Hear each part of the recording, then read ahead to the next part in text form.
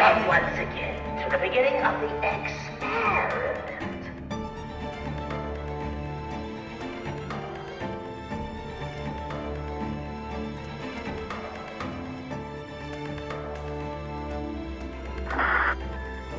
Your life is weak. It's hanging by a thread. I can finish it off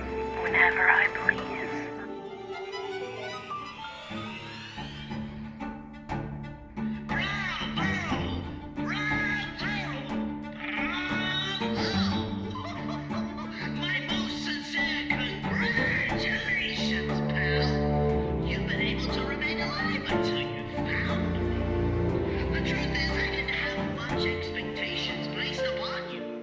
But you surprised me. I suppose you'll have many questions, young man. And I have all the answers you could possibly need.